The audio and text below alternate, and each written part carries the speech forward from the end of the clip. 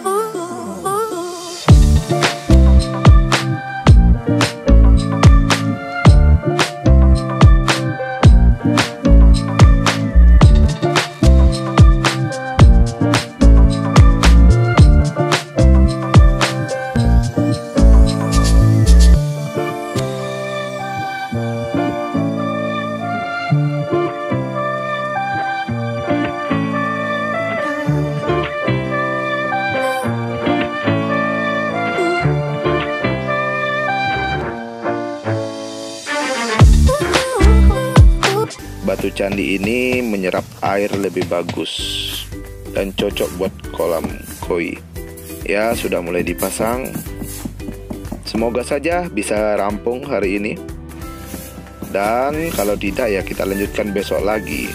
Oke, sekian dulu videonya. Kita lanjutkan besok, Bro. Oke, ikuti terus di video berikutnya. Progres kolam koi.